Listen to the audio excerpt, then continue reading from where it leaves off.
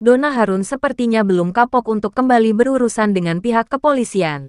Setelah sempat ditahan karena kasus perzinahannya dengan Bara Tampu Bolon yang dilaporkan mantan suaminya Hendra Rahtomo alias Romi Soekarno, kini mantan model senior itu terjerat kasus narkoba.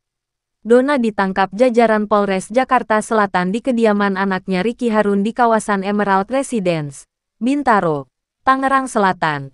Banten pada Jumat tanggal 18 November tahun 2022, malam lalu dengan barang bukti jenis sabu sebanyak dua paket dengan berat bruto 3,09 gram, jenis ekstasi Happy Five sebanyak 1,5 butir serta alat hisap sabu. Saat ditangkap, Dona pun dinilai tidak kooperatif. Ia menangis histeris saat polisi menemukan barang bukti di rumah Ricky.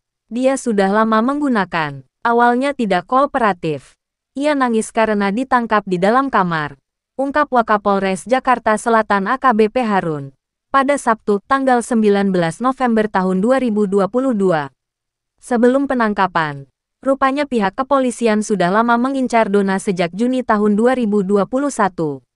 Terkait penyebab Dona terjerumus penggunaan barang haram tersebut, Sandi Arifin, Seorang pengacara yang menangani kasus Dona Harun sebelumnya pun ikut berkomentar dan membenarkan bahwa hal itu dikarenakan Dona tertekan dan mengalami depresi pasca mengalami tindak KDRT, berseteru dengan kedua mantan suami, mengkonsumsi narkoba hingga dituduh melakukan perzinahan.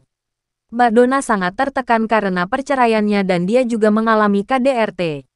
Kalau dari segi aktivitas itu dia masih lancar. Salah pergaulan Terang Sandi ditemui di lokasi usai menjenguk Dona di tahanan Polres Jakarta Selatan pada Sabtu, tanggal 19 November tahun 2022 kemarin. Seperti diketahui, Dona Harun terjerat kasus narkoba. Ia sempat dikabarkan menjadi buronan Polres Jakarta Selatan. Dona diduga mengonsumsi narkoba jenis sabu dan Happy Five.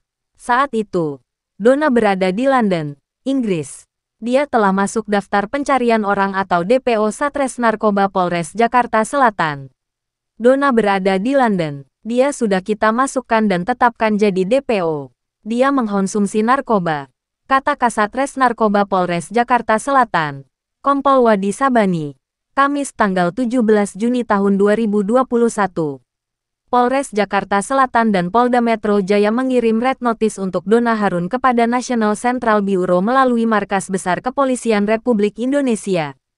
Kabit Humas Polda Metro Jaya, Kombes Yusri Yunus di Polda Metro Jaya, Jakarta Selatan, Kamis tanggal 17 Juni tahun 2021. Polres Jakarta Selatan menetapkan Dona Harun sebagai tersangka kasus narkoba pada akhir Mei tahun 2021 lalu. Sebelumnya, Dona juga ditetapkan sebagai tersangka kasus perzinahan dengan Bara Tampu Bolon pada November tahun 2020.